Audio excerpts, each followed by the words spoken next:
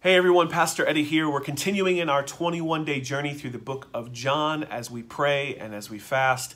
And I hope that this, uh, this theme of awakening is really taking place in your life. I hope that God is awakening you to new truths and to new realities about who you are and who you were made to be in Him.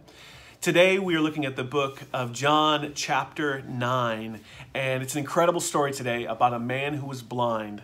And Jesus and his disciples happened to come across this man uh, on their journey, and the disciples ask Jesus, they say, Jesus, is it because of this man's sin or because of his parents' sin that he was born blind?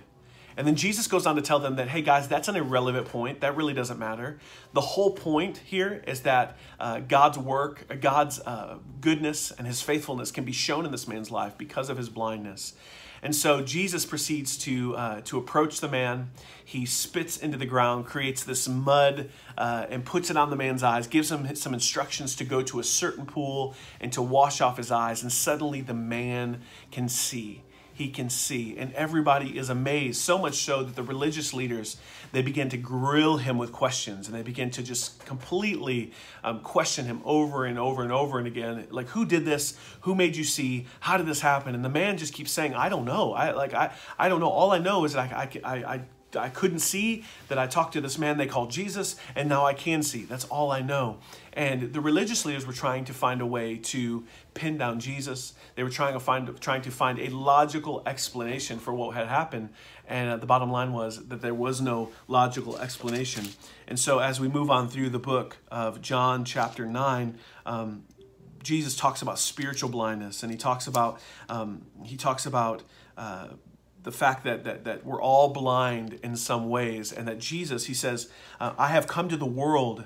In, in verse 39, it says, I have come to the world so that the blind will see and for those that think that they can see, for those who will see that they become blind. And so Jesus was always kind of speaking in riddles. He was always turning this conventional uh, religious uh, ideal on its head to let them know that it wasn't their good works, it wasn't their law that was keeping them in close relationship with the Father, but it was relationship. It was a dependence on Jesus. And so, three major takeaways from uh, John chapter 9. Number one, God wants to work through our defects. In verse 3 of John chapter 9, it says this it says, Neither the man nor his parents sinned, but this happened so that the work of God might be displayed in his life. God wants to work through our defects. Number two, God's ways are rarely conventional. God's ways are rarely what you think they're going to be. He rarely does things the way that you think they're going to be. In, verse 6, he says, uh, Having said this, he spit on the ground made some mud with the saliva and put it on the man's eyes. How weird is that? Just a crazy way to uh, to do what he needed to do. He could have done it any other way, but he chose that way. It's rarely conventional what God does. And then the third thing is this, and probably the most important takeaway from John chapter 9, is that your story is the second greatest story ever told. In verse 25 of John chapter 9, they're grilling him with all these questions, and he, he says, You know what? I, I don't know if he's a sinner or not. I don't know anything about this. All I know is that I was blind and now I see.